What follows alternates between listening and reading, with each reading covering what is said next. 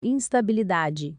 Política do Tocantins é marcada por crises, cassações e renúncias há mais de uma década. O último mandato cumprido integralmente por um governador do estado terminou em 2006. Na quarta-feira, 20, Mauro Carlesse foi afastado do cargo por 180 dias. Clique no link da descrição para acessar a notícia completa.